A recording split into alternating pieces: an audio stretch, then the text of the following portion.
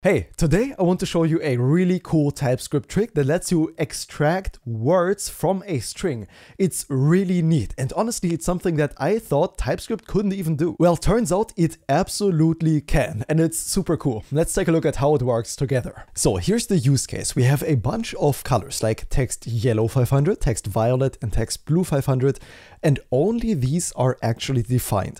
And then we have a function called find color where we can pass in a color as a string and return the color from this array we have right up here in the colors that matches the color that we pass in. For example, if we pass in the find color and then yellow, then we would get back the text yellow 500 because it searches for the color in our array and gives us back whatever match it finds. However, the problem you can probably already tell is that we can allow any string in here for the color, which means I could even pass in a color like green and this color is not defined anywhere in the array therefore we wouldn't get a color back and what we would get back from this function is just undefined because there is no green color in here. So how cool would it be if there was a way with TypeScript to be only able to pass in a color that is already defined right here in the array. So the find color would give us an error if we pass in anything else that is not yellow, violet, or blue. And the cool thing is with TypeScript, there is a way to do just that. Let's comment out this example and focus on the most simple use case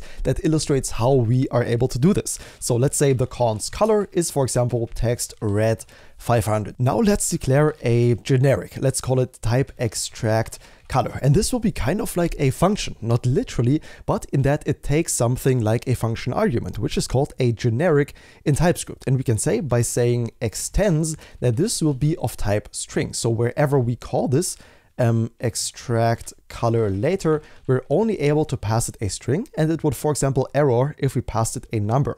But that's just for later. First off, we have a big syntax error here that we need to fix. And it turns out in TypeScript, you can actually use ternary operators. So we can do a check. If the S extends, and then, by the way, this right now could be any string. We don't know. But we can check if it matches this format up here. So if S extends text red 500, then that means text red 500 was passed passed in as a generic argument for s. Let's see what that looks like. And if it is, then we were gonna make the type be red. And if it's not, then for now, let's just say it's not red. This is valid syntax and let's see what happens. If we say type color is and pass in the text red 500, what we expect to happen, and by the way, of course, this needs to be equal to the extract color utility type we have defined above.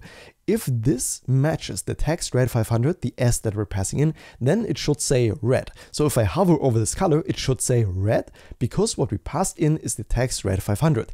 If it was anything else, like text blue 500, this ternary check right here would fail and we would see not red if we hover over this color type. And by the way, if we're going to be passing in the uh, text directly, we can just get rid of the constant.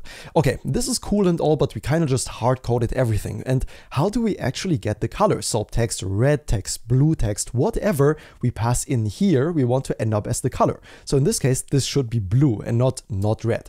And the way we do that is super cool with a keyword that is the infer in TypeScript. So let's change this to a template string.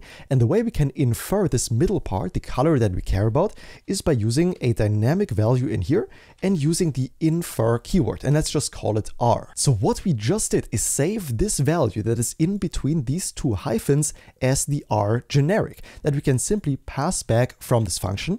And else we can pass back not red, not a color, or we can even pass back the original value that we passed into here. So let's take a look at what just happened. If we hover over the color now, we can see it's blue because we inferred the blue part, this part right here that we pass in as the generic.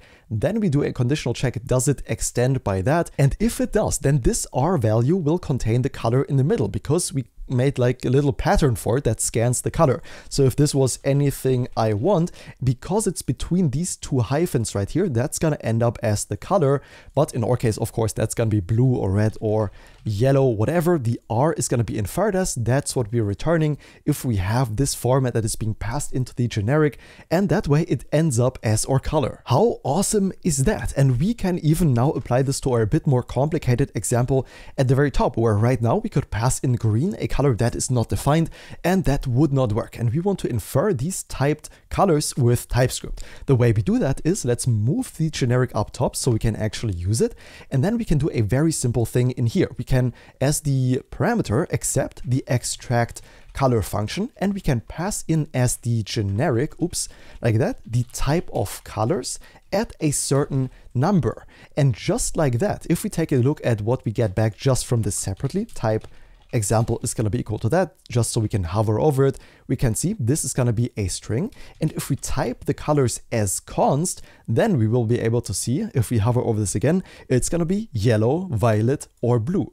Only the colors we have defined up here in our array. And if we get rid of that, now we actually get the arrow and define color green.